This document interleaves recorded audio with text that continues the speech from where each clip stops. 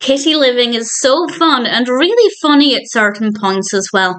This is the third segment of the 12th episode of the first season of Looney Tunes cartoons. And it starts off with Sylvester approaching Tweety. He uses a straw and sucks up Tweety. Within the first couple of seconds of the cartoon, Sylvester has swallowed Tweety.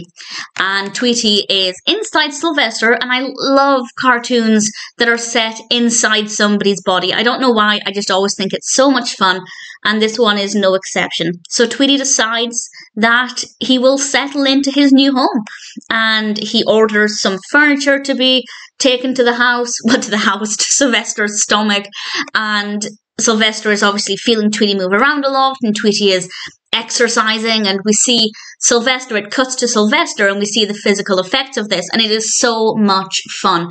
And then things get even more interesting. And I will with a spoiler warning from now. So, spoilers from now as I talk about what happens towards the end and things that I found to be very well done. One thing in particular was very well animated, and one thing I found very funny as well. So, spoilers from now.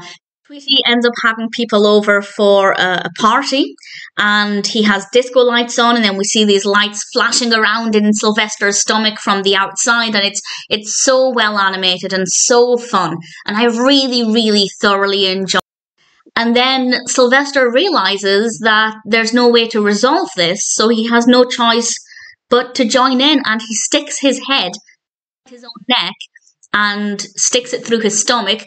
Not necessarily anatomically correct or possible, but nevertheless, he he does and Tweety is very accommodating. Tweety is happy for Sylvester to be there.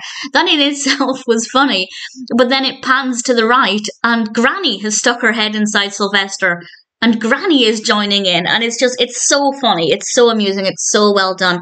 And I really, really thoroughly enjoyed it. I thought Kitty Livin' was a fun concept, very well executed, very creatively done, beautifully animated, and pretty funny too.